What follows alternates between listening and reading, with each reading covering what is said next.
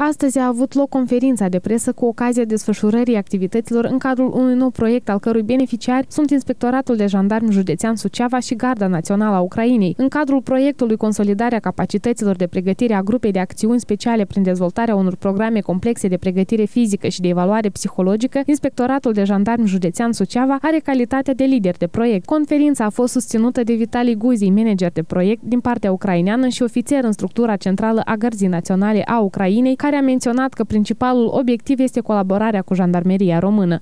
Але найбільш відповідальний напрямок це у нас взаємодія з жандармерією Сучава, тому що ми одночасно маємо з ними два спільних проекти. Da, de cel mai multe ori cu cei din Suceava pentru că au două proiecte comune. Основною метою є співробітництво із жандармерією Румунії.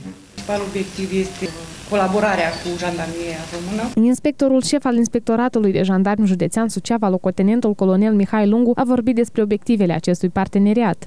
Titlul proiectului este Consolidarea capacităților de pregătire a grupelor de acțiuni speciale prin dezvoltarea unor programe complexe de pregătire fizică și evaluare psihologică.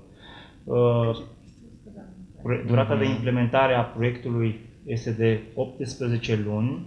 Bugetul estimat al întregului proiect este de 111.000 euro, dintre care 60 de mii, 61.000 de euro suma de bani ce revine Inspectoratului de Jandarmi Județean Suceava și 50.000 de euro Gărzii Naționale a Ucrainei prin unitatea din, de la Ivano-Frankivsk. Liderul acestui proiect este Inspectoratul de Jandarmi Județean Suceava, cu partenerul menționat, iar obiectivul specific al acestuia este reprezentat, sau obiectivele specifice ale acestui proiect sunt următoarele.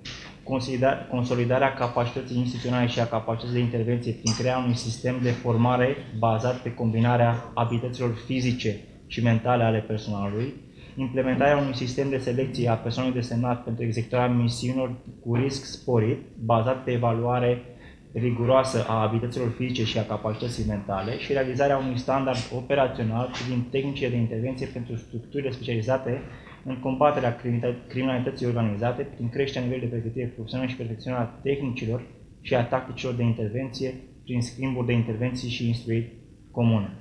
Rezultatul acestui proiect este de a, pe care noi îl urmărim este de a încuraja dezvoltarea infrastructurii și capacităților instituționale și de a îmbunătăți nivelul de pregătire și uh, în ceea ce înseamnă lupta împotriva criminalității organizate și dezvoltarea unor tehnici comune pentru uh, acțiunea în această, pe această linie. Subprefectul județului Daniel Prorociuc a felicitat ambii beneficiari ai proiectului. Domnule Vitale, bun venit în Bucovina. Vitali. Și, și vă felicit pentru colaborarea pe care o aveți cu Inspectoratul de Jandarmi Județean Suceava în acest proiect transfrontalier de cooperare. Din ce am înțeles de la domnul, de la domnul inspector șef, domnul Mihai, este vorba de, sunt vorba de este vorba de două proiecte, în fapt. Unul care se desfășoară acum aici în lansare și mai este unul care va fi în curând lansat la Ivano Frankivsk. La Ivano Frankivsk.